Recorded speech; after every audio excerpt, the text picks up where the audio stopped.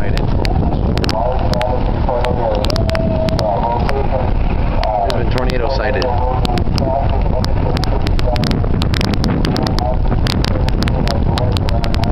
Right.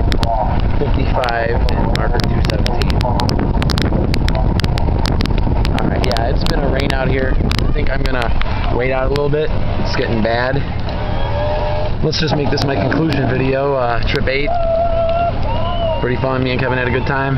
Iron Wolf took him out, but it was good. And then rain really sucks. And I got it. So, thank you. Alright, bye.